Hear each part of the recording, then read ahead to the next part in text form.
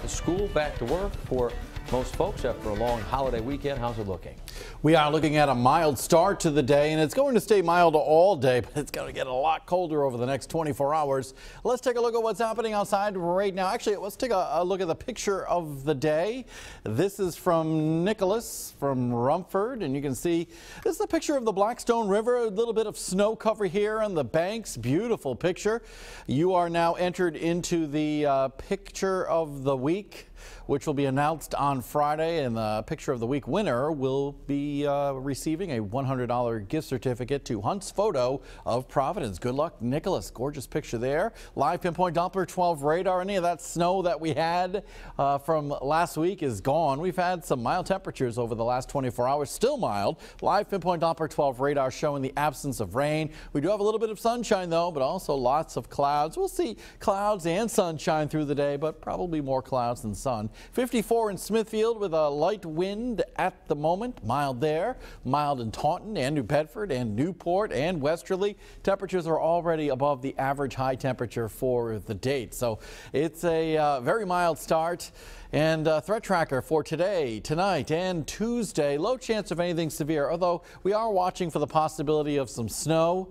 Tuesday evening, I don't think it's going to amount to anything. I'm not expecting any accumulations, but uh, that snow should turn over to some rain. We'll talk about that more in just a second. You can see lots of clouds across the northeast, a stripe of cloudiness across New York and Pennsylvania associated with a cold front. Now the temperatures behind this front have been dropping significantly.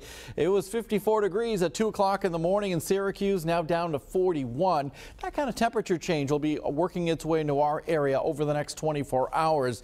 Late this afternoon, the cold front comes through. Out ahead of it, couple showers, maybe a few sprinkles. It'll be mild, and then behind it, the colder air will begin to work its way into southern New England. Now, we're going to be seeing some of the moisture that's going to hang back across New Jersey and uh, the mid-Atlantic states work its way into southern New England for tomorrow night. Might actually find a little bit of wet snow initially, and then, then that will turn over to all rain. Let's take a look at this with our future cast. Here we are around noontime today, sunshine mixing with some clouds. Uh, 4.30 this afternoon, maybe a couple of brief showers or sprinkles, and then partly to mostly cloudy during the overnight.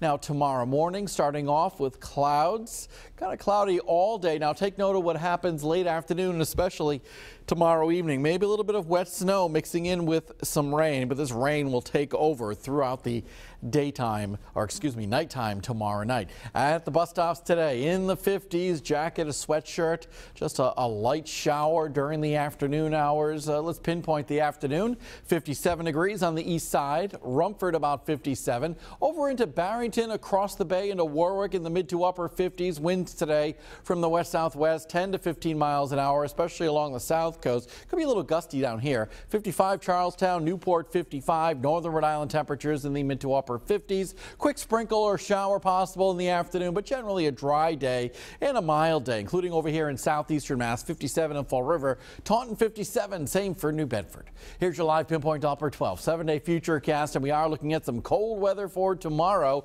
or colder, I should say. Average high for the day is 48 degrees, only 39 tomorrow. For Wednesday, we are looking at milder weather going back above average. Temperatures will be topping out about 57 degrees, but the price that we pay for the warmth is some rain showers and clouds throughout the entire day. Won't be a complete washout, but there will be showers around through the day, and then it gets cooler after that for Thursday, and then it looks a little unsettled for Friday, Saturday, and Sunday. Maybe some rain and some snow showers at that time. You can get the updated future cast on our website at WPRI.com. Let's get an update now.